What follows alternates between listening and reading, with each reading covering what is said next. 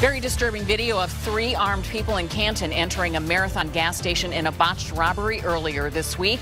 The gas station's clerk was shot during the robbery, firing back at the assailants, killing two.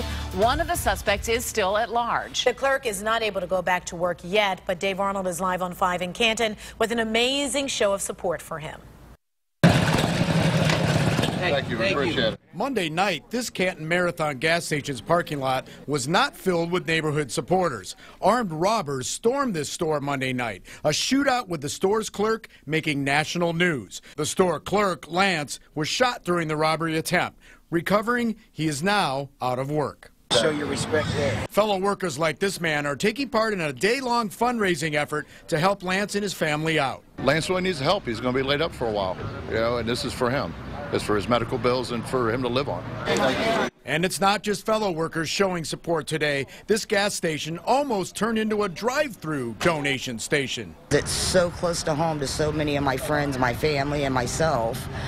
And um, it, it, was it actually is scary. I went in and got gas for my motorcycle and donated uh, money to help the guy out with his uh, medical expenses of his family. Lance was a good guy. He stood up for what was right. You know, them thugs had that coming. Well, sorry about their luck.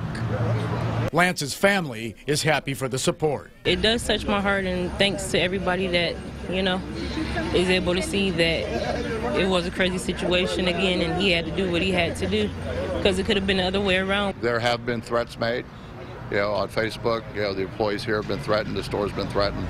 You know, we're just trying to help him.